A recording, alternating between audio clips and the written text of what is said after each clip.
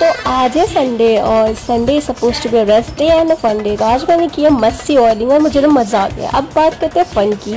So recently I found myself a hobby which is of course painting तो जब मैं cat से prepare करी थी, तब मैंने दो पेंटिंग्स बनाई थी। तभी मुझे नहीं पता था कि मैं पेंटिंग भी कर सकती हूँ।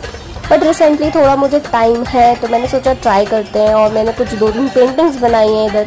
और मैंने शेयर भी की है एक तो आपके साथ। तो यू कैन सी कि मतलब थोड़ा बहुत मुझे लगता है मुझे आ रहा है so I started developing my interest here and मैं देख रही हूँ कि मैं हाँ चलो इसको हॉबी की तरफ़ परस्यू कर सकती हूँ.